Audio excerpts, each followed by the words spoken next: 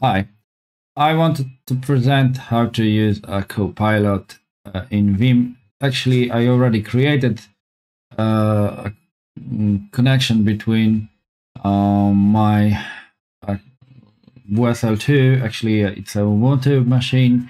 I presented in a previous tutorial how to make it work, and then I was able to configure it.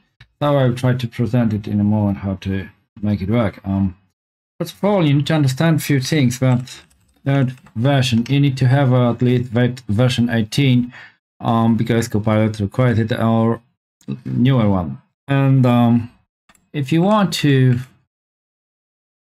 actually check version which you have, you can go to the directory. In your home directory, the NVM or version node, it's creating because I was installing with NVM uh, the Node.js, right?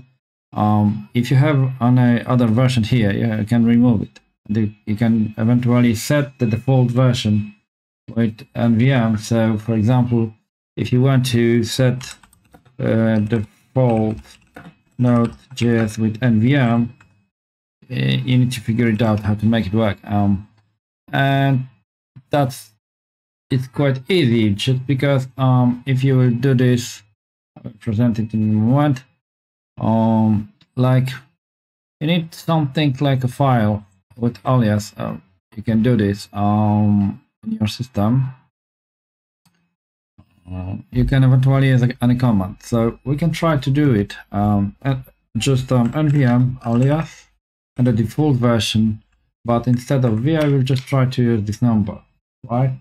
And now if I will use node version, uh, that is interesting because it should be this one. And nvm ls and listen the version. And you can see it's a version 20.2 and there's a system also. And the default is set to 20.2 but the system is using 80. I don't know why actually.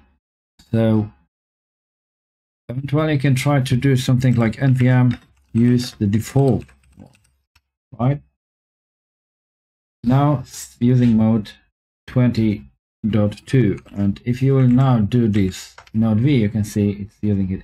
So the first command is first of all go here check version i mean check directories because if you have any other to do something like rm rf and for example like that version 14.21.2 and remove it. Then go to the home directory, just you know, to, to make it clean up. And after that, set up the alias, right? The default. After that, right? Here the default. And after that, you just node version.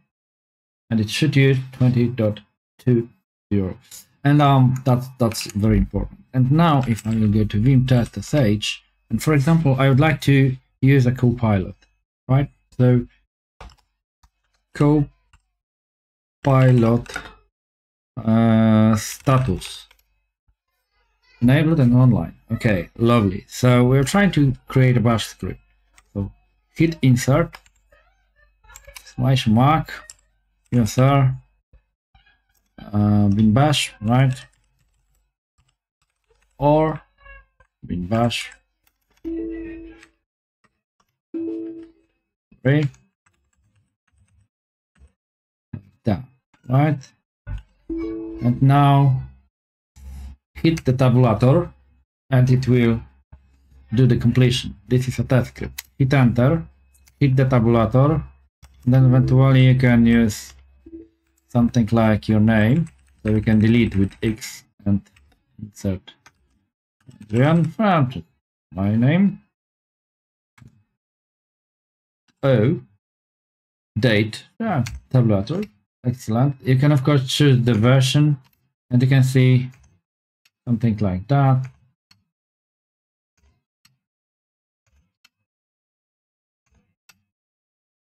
And eventually you can use something like insert echo and hello something like this.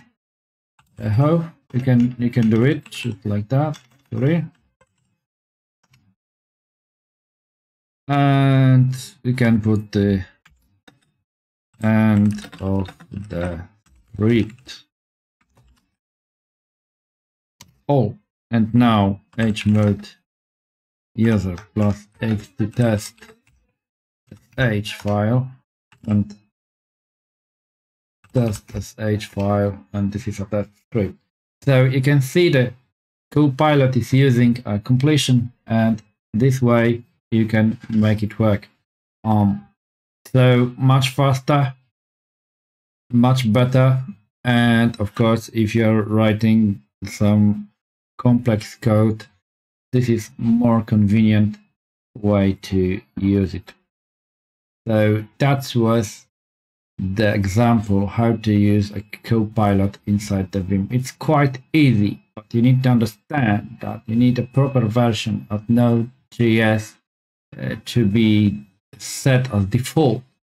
And that's the reason. And sometimes you have more than one Node.js version installed in your operating system. So you need to check exactly and with the with the command I will enable it. Once again here we go. If you will nvm list like that it will show you what you have currently installed.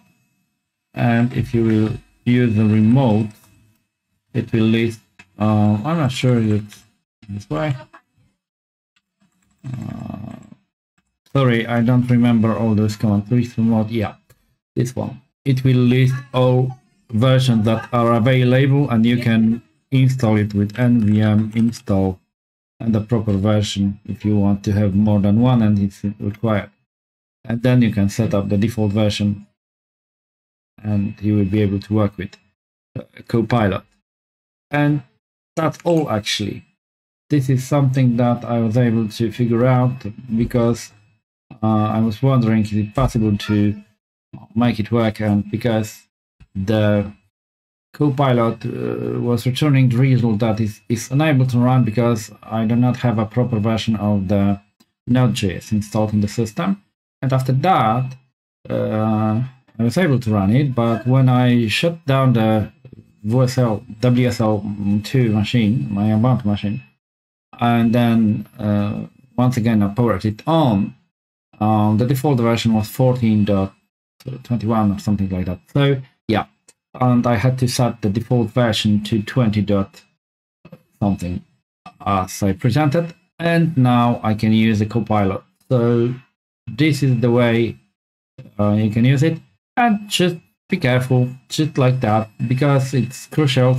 And I hope you will be able to use it properly in your command line. Uh, thank you very much.